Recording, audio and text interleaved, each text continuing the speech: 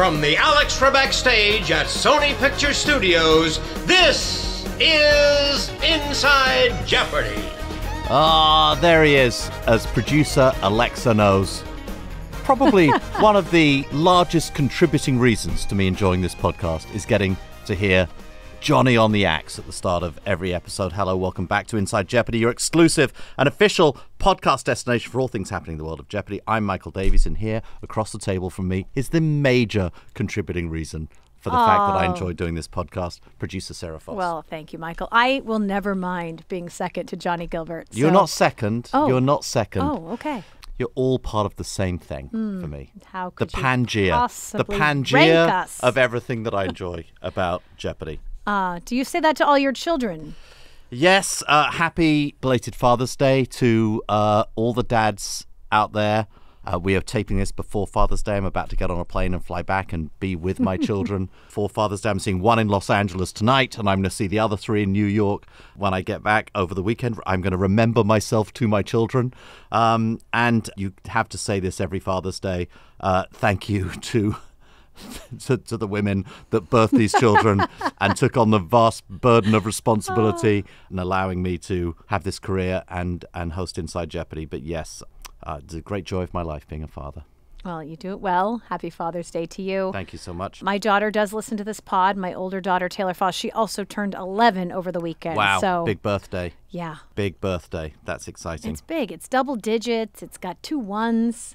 She's very tween right now. I'm sure you remember the tween years with your girls. Yeah, I do. Uh, it's you know I was very fortunate that that my girls like were adorable as tweens, adorable as teens. They they never really presented any issues, but I spent their entire tween years terrified of what was about to happen, and it never did happen. It Yes. just continued to be glorious. Well, we're about to head off, as you mentioned. We're taping this before the weekend. I am bringing my daughter and her two best friends, and my husband and my mom and our other to Vegas. We're doing Whoa. Las Vegas. Well, for Father's Day, Vegas, I love this. Well, it's really for Taylor's birthday, but yes, Chris is going to enjoy some. Uh, we're so going to see a show. We're going to go to an indoor amusement Vegas, park. it's a big you know. family It is. location. family right friendly. now. Okay, very good. There you go. Hopefully, we'll we'll win big in the uh, birthday celebrating. apparently i read here that we have an update on Oh, the yes. scary ham which is really this is this is essentially just a scary ham podcast It's masquerading. Mm-hmm. as a jeopardy podcast Well, none other than Smithfield Brand. I mean, famous for hams. Yeah. They have now joined the conversation.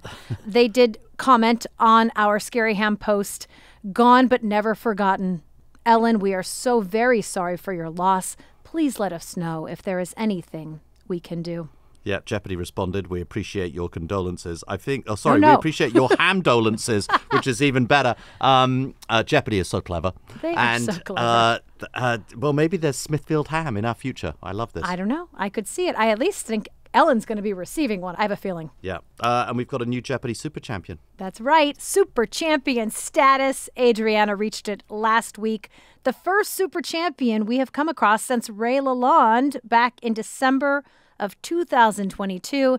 Adriana now at 13 wins, so she's inching closer and closer to the LOL, Michael. Yeah, the leaderboard of legends. Yeah, um, uh, this is a name I struggle with. I know how to pronounce it, but there are certain names that, in an English accent, it's just impossible to do. And of course, I go immediately to Adriana, uh, and Adriana makes me put on a fake American accent. Yeah. So, which I, as you know, I can only do when I hold my nose. So it's Adriana Harmeyer. Um, and she is from West Lafayette, Indiana.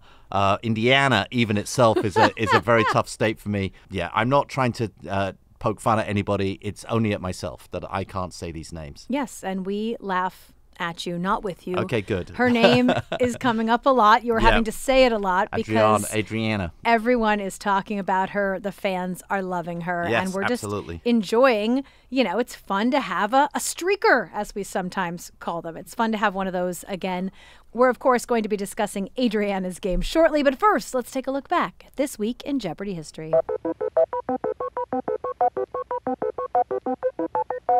John Beck, our champion, played brilliantly all week. 20,000, came up with a correct response, risked 10,000, wins 30,000, has a five-day total of $117,099. Five-time champion. Come on over here, John. Man, you were just great. Congratulations Thank to you. you. Take a look. Here's the beautiful automobile you're going to be driving soon. Well, congratulations, John. As a five time undefeated Jeopardy champion, you've won the new Jaguar X Type, a sleek, compact, and nimble automobile for the next generation. Experience classic Jaguar styling with the adrenaline rush of a V6 from Rusnak Jaguar Pasadena. Congratulations. And of course, the uh, big money tournament of champions will await you next time out. And on our next show to wrap up the week tomorrow, three new players starting from scratch here on Jeopardy. Hope to see you all then. It was on June 19th, 2003, when John Beck won his fifth game in a runaway. He left that day undefeated with $117,099. And as you just heard, a brand new Jaguar and an invitation to the Tournament of Champions. On that day, John became the last retired five day champion in Jeopardy history, as of course, right after that, we eliminated the five day limit the very following season. See, in England, we pronounce uh, that car brand as Jaguar, not as Jaguar.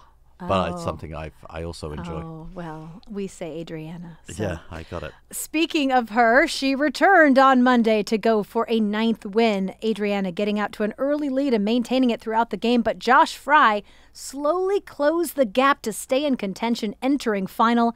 Adriana was the only player correct, and she secured that ninth win. Yeah, what a player. Uh, Tony Hale, great guy I've enjoyed interviewing on Men in Blazers, a guy I've enjoyed on, on a number of Embassy Row shows.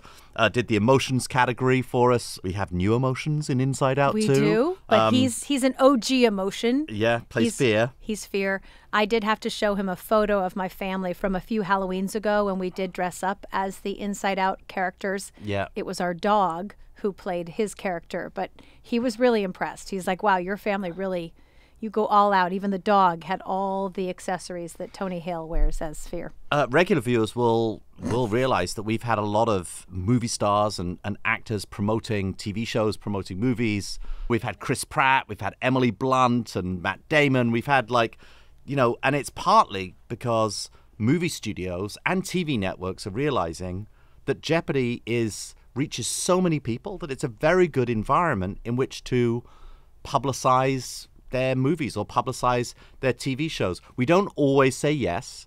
We say yes when editorially it fits within our show or we think it's going to be something that's going to advance the game board. No money changes hands. We have to um, emphasize that. We never take money in return for putting things on the game board. But we just think that, you know, movies, big TV shows represent overall the culture that happens in uh, even if it's popular culture that's the culture that happens uh, within the world that we ask about and it gives us the ability to sort of switch things up on the game board we thought tony did a magnificent job Yeah, and this is a great example where it's not that we're presenting a category on Inside Out 2. Yeah. We're presenting a category on emotions. The clues feel very Jeopardy, Yeah. but we pick someone who fits to present that category, none other than Tony Hale, the emotion of fear in Inside Out 2. Can't wait to see that one, actually. I'm very, very excited. Now, Josh Fry, we have to bring him up because he made a particular wager for the final daily double of the game. Eight clues left on the board. Had a chance to take a lead from Adriana, but wagered only 1500 He was correct, but then he was still about $2,000 off the lead. You know, maybe he wasn't comfortable with the category, but despite all of that, you got to say he's in the running for second chance. 20 correct responses, 39 buzzer attempts, and actually a higher Coryat than Adriana in that game of 13,600. wow interesting Yeah. Well, it was a close game. Let's hear how Adriana was feeling after it came to an end. Adriana, congratulations. Thank you. How did that feel? That was stressful. that was a close one. Very close. Good game. What's the stressful moment? Wagering or? Doing math, hoping that whatever book came up was something I knew. Um, wasn't completely sure if I was right with my answer either. So all of it. Yeah, as Final Jeopardy clues go, you know, that one's maybe a little bit of guesswork. Yeah. Because you probably don't know the review word for word. And all, all three of you mentioned controversial novels of the 50s, so well done. But uh, Lolita came to you first, is yeah. that right? First thought, so I stuck with it. Stuck with it? Yeah. Do you know the book, seen the movie either? No, I'm familiar with it. Never actually read it. You seem like kind of a movie buff. You go to movie categories soon rather than late. Yeah, I like all the pop culture categories. Is that right? Yeah. Do you feel like you keep up, like pop music or? If we could stick to the like 60s through the 80s, um, that's my wheelhouse, I think. But I try. Because as we know, it has to be in the 90s CD-ROM version of Jeopardy. Yeah, So exactly. Green Acres, perfect. Lolita's perfect. Yep. Well, another great game for you. We tend to say on Jeopardy, 10 wins makes you a super champ. So you're not yet a superhero, but you're only one game away. Yeah, no pressure there. Well, I mean, you already have over $200,000. yeah, It's, I can't complain. it's not a ton of pressure, but super champ would be nice, right? Yeah, yeah, I wouldn't mind that. Well, we'll see what happens tomorrow. Mm-hmm. It was a great game from all three of you, and uh, congrats, Adriana. Thank you. Okay, on Tuesday, Adriana officially secured super champion status after status after a tight battle against challenger Scott McCann. After dropping three thousand dollars on the last daily double of the game, Adriana closed out the round strong and took the lead into final. All three players were correct, and Adriana notched her tenth win. And we also had two archivists in this game, Michael. Yeah, and in the you know considering that Jeopardy is sixty years old, that's pretty uh, outstanding. Of course, we didn't change the rules, so you could win um, that many games in a row until two thousand and five, but still a pretty remarkable achievement. Yeah, it's cool. And also, you know, Scott McCann, once again, these second chance players are really, when you go up against such a solid champion, a lot of people do discuss who could have almost defeated them. Scott had 15 correct responses, ended Double Jeopardy in second place with 10,200 despite not finding any daily doubles. In the postgame, Scott even mentioned he was he was playing sick. And Ken joked this was like his his Michael Jordan flu game. So who knows what Scott could have done at his full his full potential. Well, I did catch up with Adriana after her win to find out how she was feeling about becoming a Jeopardy super champion. Adriana Harmeyer, 10 game Jeopardy champion. How does that sound? It's amazing, unbelievable. I know we've talked about it. One game was the goal. Then you make the TOC. Now you're a double digit winner. I mean, did you have these kind of aspirations in your wildest Jeopardy dreams? I always hoped that I could, but I didn't expect it to happen. And now, you know, nearly a quarter of a million dollars that you've earned. That's big money, especially for things like European trips. Yes, that is unexpected. I will have to do a lot of thinking about what to do with that money. I don't know if you heard Ken say it or if it sunk in, but only 16 people, other than you, have won double digit games in Jeopardy. Yeah, that's going to take some time to sink in. It's probably good I didn't know that going into the game, or it might have been on my mind. Have you heard us say over the years the term super champion? Yes. Did you know what that meant? I knew it meant very good at Jeopardy. I even had to remind Ken that it's someone who's won at least 10 games, which is now you. You are a super champion, Adriana. I'm a super champion. That's going to take some getting used to. I have to know when you've watched the show through the years, who are some of the champions that you've looked up to or admired or, you know, thought, wow, how do they know all of that? Oh, everyone who can win multiple episodes is so impressive. But I very much remember watching Ken in his original run and just being amazed every day that he just kept going on. Yeah, and to think you only need to do another 64 to match him. Yeah, that's all. Well, and one thing you've probably realized now is just how much stamina this takes. You know, obviously we shoot five shows in a day. Mm-hmm. For those that don't really know where we are in Jeopardy production time versus airtime, you've now played 10 straight games. yes, it is exhausting, more than I ever would have imagined coming in. How do you muster up the strength to just do it game in and game out? I I just remember when I come out that this is fun. This is what I want to do and whatever happens, I'm going to try to enjoy it while it lasts. What has surprised you most about this experience? I've just been so amazed by all my competitors and just the positivity and camaraderie that we're all just so happy to be here and to be part of this show that we've all enjoyed for so long. Well, you're part of the Jeopardy family forever now, a 10 game champion. Looking at the leaderboard of legends in your sights, I think it could happen. Keep it going, enjoy it, and we're uh, so happy to watch this run. Thank you. Michael, one thing people are talking about is that people don't lose as a 10 game champion. No 10 game champion in Jeopardy history has ever lost on their 11th game. Wow, now you've cursed it the next time we get there. Well, thankfully, in this game on Wednesday, Adriana continued her strong gameplay, ending the Jeopardy round with 7,600. But Enzo Cunanan gave her a run for her money, fighting hard through Double Jeopardy, managing to go into final only $4,200 behind Adriana. They were both correct. But Adriana takes the win. Adriana now tied with Arthur Chu and Jonathan Fisher with 11 wins. Yeah, we talk about obviously Ellen and her Scary Ham interview being a contender for, you know, best interview at mm-hmm. honors, but this was a good one too that we had from Connor. He had a celebrity sighting in eighth grade at a field trip to a museum outside of Detroit. Eminem was there with his daughter, you know, just trying to have a nice, good time. Connor and his classmates told everybody at school about it, of course, as you do in eighth grade, and they all ran up and were probably ruining Eminem's day. So Connor took the moment on Jeopardy to apologize to Eminem. I like to think that the Scary Ham story um, transcended the idea of just being a Jeopardy contestant interview. And it's almost like the Jeopardy bee.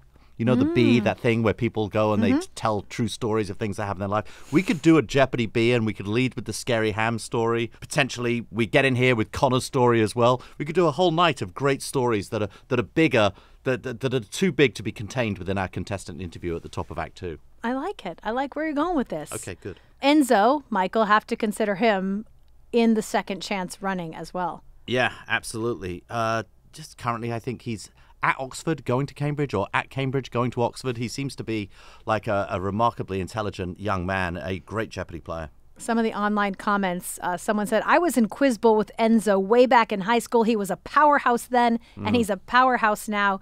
Really hoping he makes it back for second chance. Enzo would seem like a lock for second chance. Adriana is definitely filling up the second chance field. 17 correct responses for Enzo, 38 attempts, ends DJ with 16,400 correct and final. Got to be part of the discussion. Ken caught up with all three of our contestants to discuss Adriana's low wager and, of course, Enzo's second chance possibilities. Enzo, that was a fantastic game. Thank you. Oh my goodness. You know, that was quite stressful. You were very strong on the Shakespeare quotes. I've read half of his plays, so but I can't get into the comedies for some reason. But I did participate in a ninth grade production of A Midsummer Night's Dream. They cast me as the cranky old father of Hermia for some reason. I ah. can't imagine why. Well, I mean, if as an audition for a second chance tournament spot, that was a pretty great game. Connor, I have to say, I was impressed with Three Dog Night. How do you know you're Boomer Rock? Uh, An lot of- Eminem and Two of, Chainz fan of like you. trips with uh, my dad. Yeah. Is that right? Yeah. Your dad uh, made sure you knew Three Dog Night. Yeah. Well, these two are just lucky a James Taylor category wasn't up there. Oh, that would have been your jam. Would have been curtains. And let's see, you knew the Dnieper River. You were very good on the rivers, in fact. Yeah, I didn't expect to be, but it worked in my favor. If How do only- you how do you know that stuff? You're studying the map? I guess so. Yeah, it stuck. Maybe it was in the World Book. Because famously, you have not been to Europe yet, right? You're planning that trip. Right. This is going to pay for that. Are you going to go see all those rivers in order? The Loire, then the Main, then the Dnieper. I'm going to have to get that list. Yeah. Tell me about the small wager on Main. I wasn't feeling confident in that category, and of course, I regret that wager now, but it somehow all worked out for me. I mean, after 11 wins, do you feel like you might be a little bit temperamentally like underconfident? Like, are you selling yourself short as a Jeopardy champ? I think I just want to keep going, so I'm trying not to. Big swings? Yeah, I don't want to miss, so I'd rather just be a little careful. That's exactly how I played, but uh, you know, today you got the you got the new generation of Moneyball players. Yeah. Well, it was a great game from all three of you. Thank you so much for being here, and uh, we'll see you back for game number 12, Adriana. Mm-hmm. Let's see how long this goes. Okay, moving on to Thursday, where Adriana, after a slow start, turned it on in Double Jeopardy, and thanks to a late $3,000 daily double, took the lead into final. Once again, she was correct in final. She's now 10 for 12, by the way, Sarah, hmm. and she secured win number 12. And now she's tied with Seth Wilson and Austin Rogers. So just those names you remember, Yeah, you think of. names. She's joining the ranks. Yeah. This is an interview I didn't think I would necessarily hear on Jeopardy. Mm-hmm. Hong Mi talking about her irritable bowel syndrome. There we go. Would that make the Jeopardy be? We're unsure. It might. Yeah. And, you know, she talked about it in relationship to her husband in the third date and knowing that he was the guy. And then in the post game chat, Ken asked if she found Jeopardy to be more stressful than a third date. And she said if you find the right game, like finding the right person, it feels very comfortable in Hmm. your tummy. And Ken joked, well, we want to be a safe place for people of all different tummies. That's who we are. Very much so. Well, we closed out the week with a great game between Adriana and challengers Susan Ayub and Caitlin Tarr. All three players battled throughout, but Caitlin, after dropping $3,000 on a daily double, took the lead over Adriana heading into final. And for the first time in her run, Adriana did not have the lead. All three players with five digit scores over 10,000, but Adriana, the only one to come up with the correct response, closes out the week as a 13 game Jeopardy champion. Yeah, unbelievable. Now tied with Jeopardy greats Matt Jackson and Ray the Sway Lalonde with 13 wins. This was a great game. Again, I know we're saying it every day, but Caitlin Tarr, you have to think she's in there for second chance. You're putting everybody in second chance. Well, How many not- weeks are no, you going to run that tournament this year? Actually, much less, Michael. Okay, much good. less. I'm not going to divulge that, but it's not. It's not like last season. Okay, got it. Less tournaments, less Seem competitions. to have a lot of contenders. I know we have so many contenders because Caitlin, 21 correct responses, ended double jeopardy with 12,800, gets the lead over Adriana. I mean, no one's done that yet in the run. Hmm. Missed final, but still a $15,000 Coryat. Okay, perfect. Well, Ken congratulated all three of the players on a fantastic game. Let's take a listen. I just want to congratulate all of you on that game. Like, I know uh, it didn't go the way all of you wanted it to, but fantastic. You all had $10,000 at least heading into final, which makes for a tricky wagering scenario, right? What were you all thinking during the break? Literally nothing. Fugue state? yeah. Why did I wager $410? I will never be able to know the answer to that. Well, I mean, in hindsight, maybe you like that the correct responses made it moot. Yeah, I thought that was a tough clue. I actually did not get that clue right when I looked at it uh, in the room. Uh, and I was pretty impressed that Adriana just zeroed right in on it. Yeah, it just came right to me. I don't know why. Do you think, in hindsight, was it positive in the clue, or I think, I think positive helped, and then the alliterative, I think, got me there. like I knew from the setup, I was like, a 61 executive order, it's got to be civil rights, and it just did not come. To, I guess positive can mean a lot of different things, right? What a fantastic game, Caitlin! You actually had, I believe, two more correct responses than Adriana. One of one or two times that anybody has has stayed ahead of her on the buzzer. What do you credit your your amazing Jeopardy talent to? well, the buzzer speed is video games. Is that right? I would assume so. Uh, and then, yeah, stenography Jeopardy, lots of pub quizzes. There was no there was no button in stenography Jeopardy. You did not no, have your but there fork. probably should have been. What video games like would you recommend to the aspiring Jeopardy contestant? oh, I'm not learning anything from them. Right, but like, what, what do you think helped you get the button down? Um, I play a lot of Hades. Oh, I guess you could pick up some Greek, Greek mythology from that. there you if go. You're so inclined. You get timing and Greek mythology. Yeah. I've said this before this week, but uh, a very convincing audition for our second chance tournament right there, Caitlin. That was Thank you. that was a great game. Did you expect that your streak was over coming into final? Oh, absolutely. I was ready to. Which stage of grief? I don't know. I, I lost count.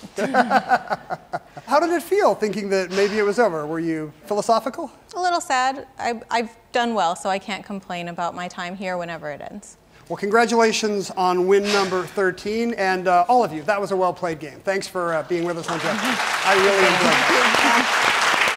All right, it's now time for this week's host chat. An audience member asked Ken, How did you avoid burning out during your run? Yeah, I mean, the hardest part is just how long the day is, because if you end up winning, you know, uh, you might, if you come in a champ and you keep winning, you might win five times, and you're going to have to play till 5 p.m. and it's a long day. I remember like my feet would hurt because you're just kind of standing in a very stressed position all day. It helps that it's a lot of fun. Like it's a very intense experience, but you know, if you've watched the show, once the game starts, you're just like, oh, this is just like on TV. There's Alex and there's the board, and it's just like Jeopardy. But at night, I just did not want to think about the game, but the game would still just unspool in my head. I'd like lie there in bed thinking about daily doubles and stuff. Ah, how cute. I like the idea of Ken lying in bed thinking about daily doubles. Just like we do, Michael. I know, wearing his gym jams and with his little one of those old fashioned like sleeping hats that they used to wear. anyway, uh, that's it for today's show. Be sure to tune in later today to watch Adriana go for her 14th win and join us back here on Monday as we break down another week of games. See you next week.